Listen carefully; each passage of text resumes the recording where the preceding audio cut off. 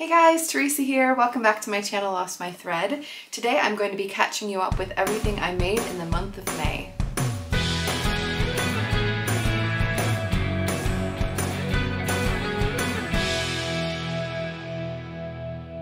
As I generally do with these videos, I will be starting with what I've actually finished. I will then talk about works in progress, give a brief general life update, and then an update on my 24 for 2024 goals. I will also have chapters down below if you want to skip around, skip ahead to projects that you're particularly interested in. I'm going to start with the garments that I finished. If you watched the video where I was talking through my goals for Me Made May, one of the things that I really wanted to do was to try and work through my fabric scraps. I have too many fabric scraps like many of us do. I gave myself the goal of trying to cut my fabric scraps down by half, which I didn't do. I didn't really think I was going to do, but I wanted to give myself an ambitious goal. I will say I made quite a few things using fabric scraps and that was all that I allowed myself to sew in the month of May. I am excited with what I finished, but more importantly, I have plans for so many of my fabric scraps. So I pulled out scraps, paired them with other fabrics or paired them together, came up with ideas of things I wanted to make with them, and honestly I feel like that is half the battle. Now that I have them stacked up with a label of what I'm planning to do with them, I feel like I can just gradually chip away at those and that's how I'm gonna get through my scraps. I know that that will also create some new scraps, but it feels good that I only have a small selection of scraps that don't have an allocated project. And even if I haven't managed to do that many of them, I know that I will. The first one I will talk about is what I'm wearing now, which is maybe my favorite I kind of had two favorites. I can't really pick, but this is definitely one of my favorite things I made this month. This is the La Brea tee by Halfmoon Atelier. This is a woven top pattern. You can also make it in jersey or knits, but I made it in wovens and this is a top that I've made so many times. If you've been following me for any length of time, you will have heard me talk about this pattern because I really do love it. It comes in multiple bust cup sizes, has a pretty good size range. I also just really like the shape for me. It is just a really simple make as well. There's just a front piece, a back piece, and then there's neck binding and armhole binding. I really do find it comes together fast and I'm always really satisfied. It's just an easy way to show off some fabrics as well because there's no bust dart, it's just really simple lines. And I felt like it would work really well for my fabric scrap projects that I had. The idea with this one is that I basically had this scrap left over this top section from a bag that I had made. I made it as part of the Bestie bag by BF Patterns. It was a Christmas gift for one of my coworkers. This was the lining on the inside. It is a Nerida Hansen fabric. It's super fun. I love the colors on here. This bright blue is so beautiful and it has all these little characters all over it. It's a really fun fabric and I wanted to do what I could with it. It's a cotton lawn fabric and I was trying to pair together with different prints that I had. I felt like a solid would really just work really well. And I like the idea of just using as much as I could on the top half and then whatever I couldn't fit onto the pattern piece I would use with another color on the bottom. So I literally just laid this fabric out. I folded it in half to see, okay, how far along the top of this pattern piece can I get? I folded the pattern piece up, added a little seam allowance on the bottom, cut it out, and then I kept that fold to then put down onto the bottom half basically, this linen fabric that I used for the bottom. Again, added seam allowance on the top, traced around those pieces so that I knew that when I added my my seam. It was going to be the perfect size piece for the fabric. I am really pleased with how it came together. I was hoping to get this cool, look like a an intentional breakup of the pattern. I think it did work well. I will say this pattern is usually a bit longer, this top. I shortened it by about three inches at the lengthen and shorten line just because I've made the longer version and wear it lows and it's good for tucking in. But because I'm wearing more higher waisted trousers and skirts, I felt like this length would be a little bit more appropriate for those. I think it worked really well. That's, I think, probably what I'm going to go to is like my default these days just because of the style that I'm wearing. I honestly though I feel like the colors work great together as well so this bottom section is a linen fabric that I got from the Fabric Godmother. This was not a previous project so it was one of the things that I bought myself to allow me to use my scraps. So I, I thought if I was just going with only the scraps that I had I didn't really have anything particularly to work well with it but it's perfect and I feel like the silhouette is great colors are really fun, and I'm just so glad I was able to make the most of this fabric on the top section. Next up is another La Brea tee. So this is scraps from three different projects. This floral print came from a matching set that I made. I'd made the Gilbert top by Helen's Closet and the Pomona pants by Anna Allen. Love that matching set. Really do love this print. It's a viscose linen fabric. And then this green fabric is another viscose linen. It's a viscose linen noil fabric, viscose linen slub that I got from Sew Me Sunshine. Because it's both viscose linen, they have the exact same drape, the exact same movement, and it works really well to have these fabrics together. Now this one was definitely me trying to just piece together whatever I could to make a large enough piece of fabric to cut out the front piece and to cut out the back piece. So it's definitely very scrappy. The neckline and the armhole, I was really happy that I was able to use this up. So this is scraps from another matching set that I made. I made the La Brea tee, the one that I've made here, matching with a skirt, which is the peppermint pocket skirt designed by Paper Theory. And I love those two together. And when I was making the La Brea tee portion, I don't know if you guys are the same, but whenever I'm making bias binding, if I'm making like strips to go around like a neckline, armhole, that kind of thing, I never know quite how much I need to make. They don't usually give you a, a, measurement. Some pieces or some patterns give you a specific piece. This one doesn't, just gives you like, this is the width you need to make. Just make a load of bias binding. And I hate getting to the point where I run out of bias binding and don't have enough, that is the worst. So I always just make more than enough. I just make loads. And then I was making this project, I needed some binding and I wanted to use scraps. That was the whole point for me. And I thought, I wonder if I could get enough of the leftovers of this binding for the neckline and the armhole. And I did, and I barely had any left over, and it was so satisfying. I think the colors work really well together. I also put a label in here. This is from Intensely Distracted. This is a cotton label, so it's not scratchy at all. It's a woven cotton label. This is a top that generally you can tell the front and the back, but it is handy to have a little tag in the back just to remind you. What I like about this is because this is made from three different projects, I can theoretically pair it with all three of those projects as well. So I don't think I said the green skirt, it's another peppermint pocket skirt, so the same as the pink one. I feel like it works well with all those, but obviously I can wear it with a whole variety of other things as well. And I think it worked out well. It is a fun, clearly a scrappy looking top to me, but I think that's what makes it cool. Both with the top that I'm wearing and this top, I decided to top stitch. So I don't know if you're gonna be able to see, probably a little bit more easy to tell on sort of the, the greener areas. I decided to top stitch, I serged the inside, so it's exactly the same on the top that I'm wearing. I serged the inside edge and then I top stitched over the top just to keep everything nice and flat so that I didn't have those serger threads kind of pressing against me, rubbing in any uncomfortable ways. I feel like it just makes it look a little bit neater as well. And I'm really happy that I did that with both these. And I think it's a fun project. The next one I'm kind of on the fence about, to be honest with you, and that is this top. So this is the Ashton top by Helen's Closet with different fabrics on the front. So on the front, I've got this light floral foresty print. This is a cotton poplin, Liberty cotton poplin, and this is actually a scrap from the Bestie bag by BF Patterns that I made myself. This is the lining that I had.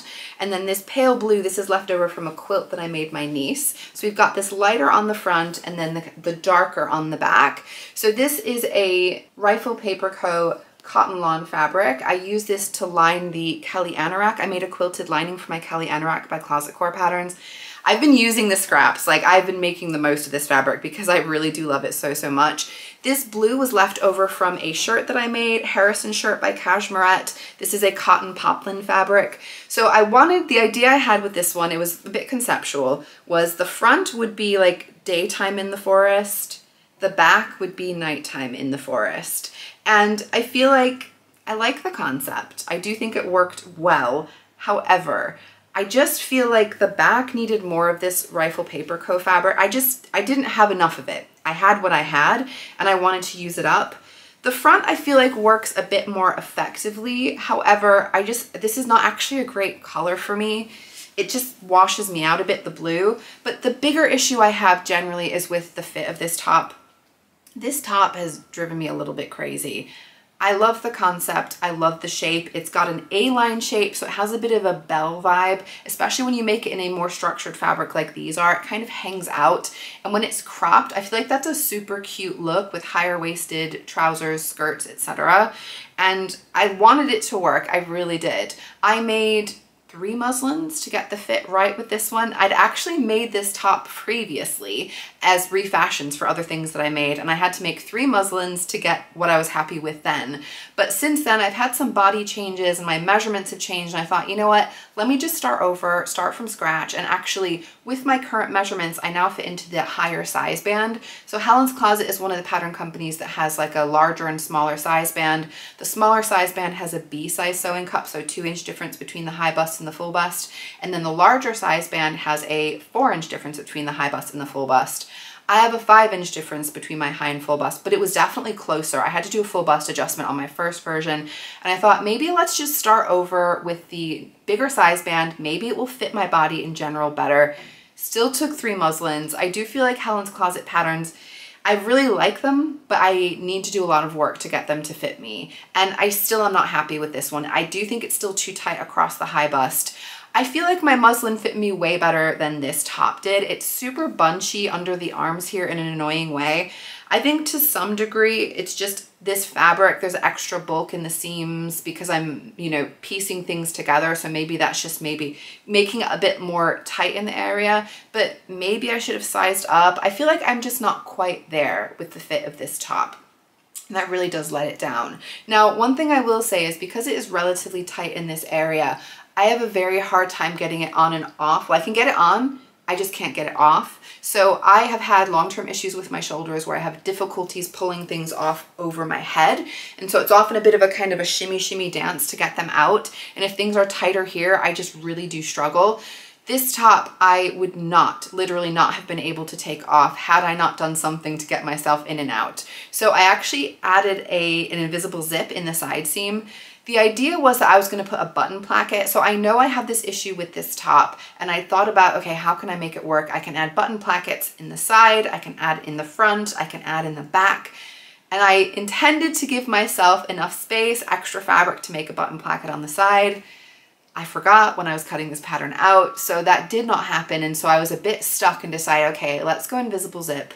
I didn't want to buy a new invisible zip because I'm using scraps. That's the whole thing. And I went through my zipper collection and I didn't have any blue. All the colors I had were contrast. And I decided, all right, I'm just going to go for a full on contrast and use red. And it's just like, no guesses there. It was intentionally a contrast, so that's what I did.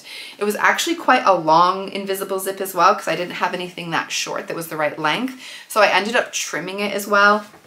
I really don't mind that you can see the red zipper tab at the top. I think that's just kind of fun, but it is in invisible generally going down there. You can't really see it on the outside, but on the inside, I had to add a little bit of stitch there just to make sure that it doesn't open completely, but I only need to unzip to here anyway to be able to get it off.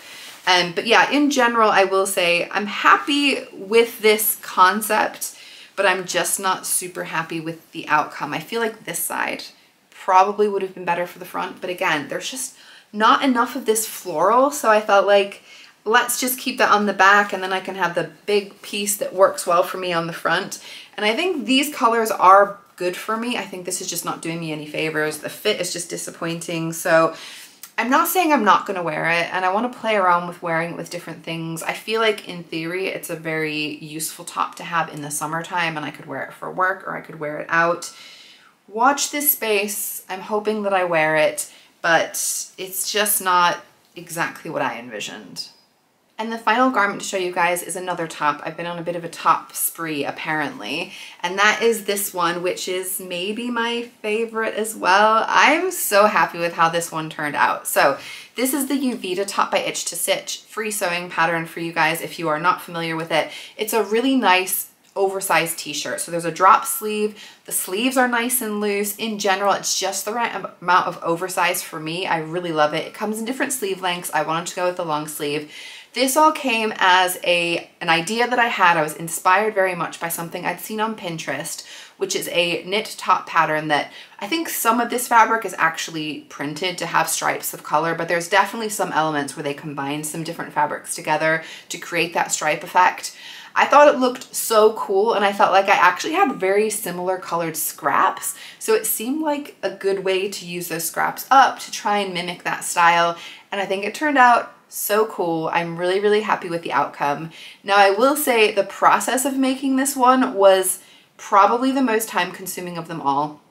Maybe it's tied with the wall hanging that I'm going to show you guys in a minute.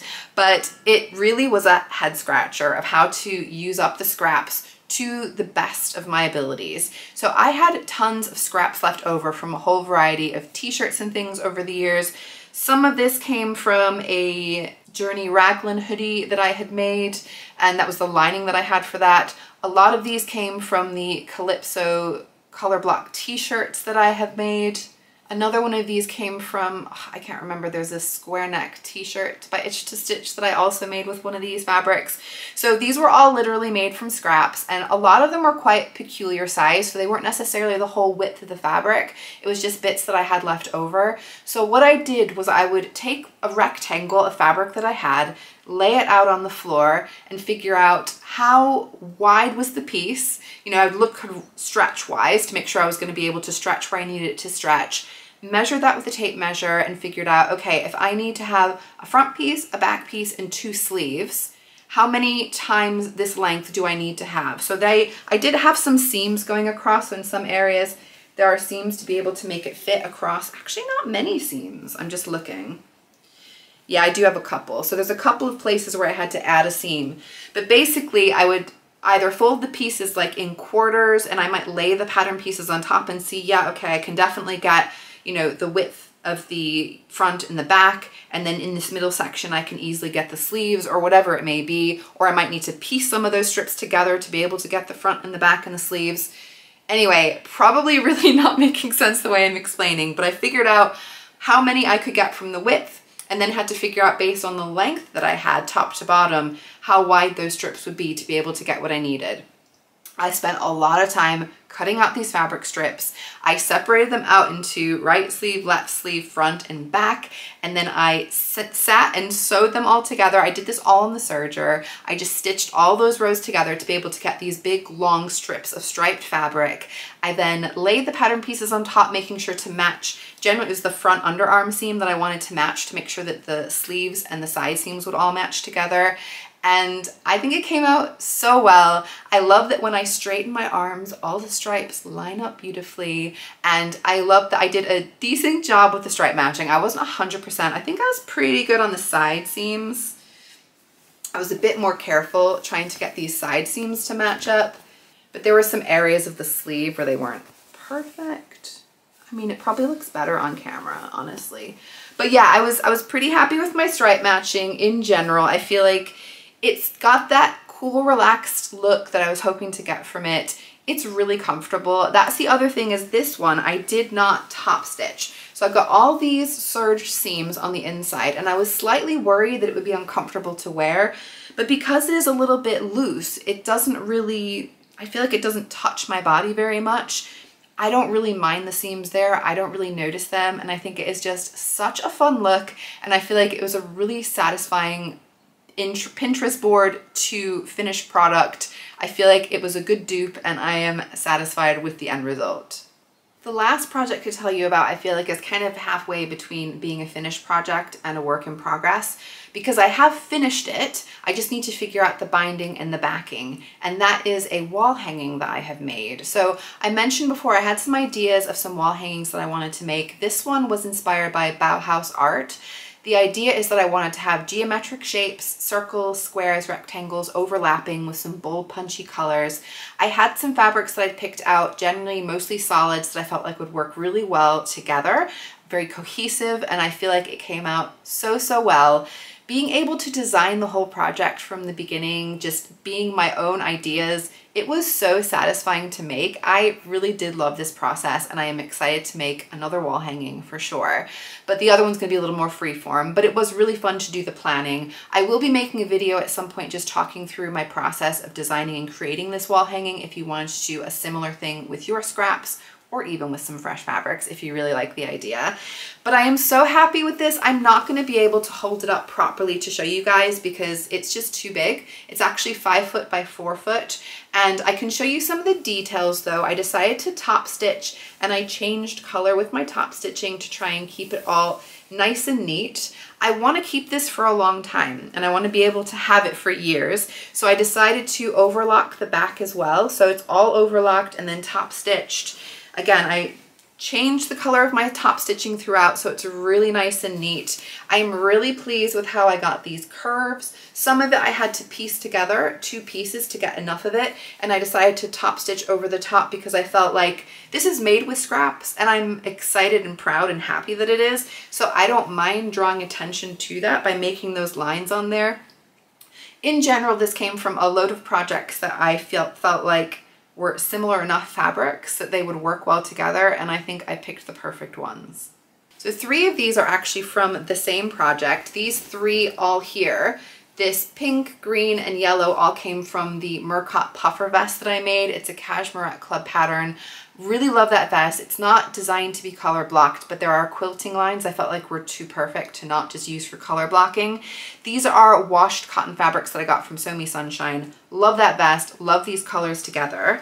I also had this linen fabric. So this was left over from a peppermint wrap top that I made, designed by In the Folds, free pattern for Peppermint Magazine. Really like that linen top. This is another linen. The stripe is a linen from Merchant and Mills. On here, it might not be as obvious, but if I show you the orange, I felt like the colors were just so good together. I felt like they just worked really well against these other fabrics. And this was a jumpsuit that I made. It's the jumpsuit from the Great British Sewing Bee Sustainable Style book. Love that jumpsuit. This peachy orange color is actually linen that I got from Raystitch fabrics that I have as curtains in my living room. So I know that this will work in my living room. I love just that little bit of movement and drape and bounce in these fabrics. It makes me really happy. And I do feel like all of them are really nice and cohesive together. The blue is maybe a slightly different shade of blue than I would have intentionally gone for, but it was my scraps and I feel like it worked really well. Like I said, I like the idea that some of these colors might kind of overlap to create a new color. So where there was a pink circle overlapping yellow circle, it created a peach in between. I know the colors are not perfect, but I feel like it's still giving the idea of what I wanted. So the idea here is that I can rotate this in all orientations. I can have it in different places. I'm really excited to get this up and on my wall. I'm hoping to do that pretty soon. And I feel like it is really just gonna bring a nice pop of color, a nice brightening up of these spaces in my home. Moving on then to general life update, the first thing I'll briefly go over is just anyone keeping tabs with my recovery with my hand and my wrist. I've been having problems with my ulnar nerve that have definitely not resolved. I feel like the last month things seem to have plateaued a bit, which is disappointing. I definitely know when I've been back at work and working full long days, I do feel more pain in my hand and my wrist, but it's not surprising. And I feel like at least on my days off, it's better. I was actually able to do a little bit more knitting in this last month than I was the previous month. So I think there is some very minute progress. I am seeing the consultant again next week, so we're just gonna have to see what they say. It may just be a watch and wait how things go, but it's still, I would say, stopping me from some activities, but I'm managing to adapt and still do most of what I wanna do. But these things are just such slow progress, unfortunately. I did also have a really good birthday week. I have a birthday at the beginning of May and I took a week off. I was hoping and expecting to have loads of sewing time, but as happens, when I was off, I ended up planning loads of things to do. So I was busy bee, but in a good way I was busy, you know, going out with friends and having like lunch and breakfast. I also had an afternoon tea with my mother and father-in-law up in Oxfordshire, which was so, so lovely. I went out for Mexican food with my husband to my favorite Mexican restaurant in London called Mestizo. They now have two branches, didn't know they had a new one in Kensington. So we spent today going to the Saatchi Gallery, one of my favorite art galleries, and then walked over to Mestizo to have a delicious meal, which was really fun. I am a huge fan of Mexican food, so it probably is my favorite restaurant in London in general. I've been there for birthdays in the past, and this is the first year that I told them that it was my birthday, because when it's your birthday, they go a little bit over the top after you finished your meal. They play some music, all the staff come out, they put a huge sombrero on your head, give you a shot, and then rattle your head around while they're all cheering and chanting while you're taking the shot. It is really funny. It is a good laugh, and I decided I'm gonna tell them it's my birthday this year because I'm gonna have a little fun with it. My husband took a photo of me with the sombrero, which I feel like is just a fantastic photo. I feel like most people I know have said it's now their favorite photo of me, which I 100% get. But it was generally, honestly, such a good time. I had a really great time over my birthday week. One of the highlights for sure was that my husband and I took a trip to Rye in the southeast of England, which is where Merchant & Mills is based. So Merchant & Mills is a UK-based fabric shop. They also have a lot of their own lines of fabric. I'm not sure if that's all they stock. Technically, they have some Indian block print fabrics. Are they all Merchant Mills? I'm not quite sure.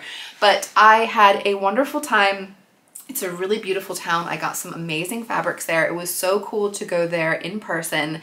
I did actually make a video about my trip to Merchant & Mills, which will be coming next week, just to give you a little tour around. If you haven't been there, it's a beautiful shop. Highly recommend. And I can also show you the goodies that I picked up. And I think that ties in beautifully with updating on my goals for 24 for 2024.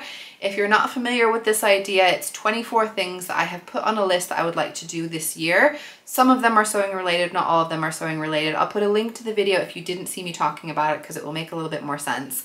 But I'm able to cross one of them off now, and that is to take a trip to Merchant & Mills. So number five was to visit Merchant & Mills, and I have officially gone there. Now, I also have been working towards other things. So I had my number one goal was to sew a quilt for myself. If you guys didn't catch last week, I shared a video of my plans for a quilt along for the Standing Tall quilt by Helen's Closet. I'm doing a collaboration with Sarah of Sew Sarah Sewed, and I am working towards that. So in July, I should have that quilt finished, which is very exciting. I have also been working through these haiku books. I have four of these books. This is the spring volume and I've been working through this in spring. I'm pretty close to the end, so I'll probably be finishing that one pretty fast and then I can move on to the summer one. I'll pop in a couple of haiku down in the description box that I particularly liked from the month of May. I also did a pretty good job of going on regular walks, whatever the weather. My husband and I have been doing that, and it's been a really nice thing for us to do on days off, even if it's for a brief time. I feel like it's just so good for your mental health, but also good for your physical health to get outdoors.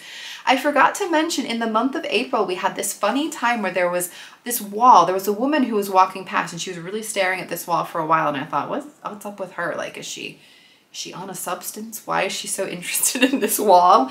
When we got to the wall, I had a look and it was covered, and I mean covered in caterpillars. I've never seen so many in one place. I don't know why they were all flocking to this space. I'm sure they're all butterflies by now, but it was really interesting and cool. And I feel like it's the kind of thing where if you don't get outside, you don't see that stuff. And it has been really beautiful seeing all the blossoms coming, all the new flowers changing throughout the seasons, the trees taking new life. It's so wonderful. I'm such a big fan of nature and being in nature. And it's been a really positive thing for both my husband and I to do. And that is my May. I feel like I made some seriously cool scrappy projects. I hope it was inspiring for you guys to maybe look at your fabric scraps in a little bit of a different way. I would love to know if you have been trying any fabric scrap busting projects, if you've made similar piece things, if you've made a wall hanging, or if maybe you were inspired to do so yourself. I feel like in general, it's just really satisfying and really nice to be able to work through those scraps and feel like you're actually making something from rubbish almost, from trash, things that were essentially going to be thrown away. It is ultra satisfying and I definitely want to be working more on those as the year goes on. Let me know what your favorite thing that I made this month was. I'm honestly probably leaning most toward the wall hanging and I think that's probably because it's just such a different project for me and I'm really proud of how it all came together. But I don't know, this top is really cool as well. The stripy top. Anyway, Lots of fun things that I made. I would also love to hear what you've been up to in the month of May, whether you've been getting outdoors, getting out to see nature, what sewing projects you've been working on that you're particularly excited about. Definitely getting into that summer sewing vibe as well. So I'll be having a summer sewing plans video coming out soon. If you did enjoy this video, please make sure that you give me a thumbs up down below and subscribe to my channel if you want to see upcoming videos. I'll be back and see you guys soon. Bye!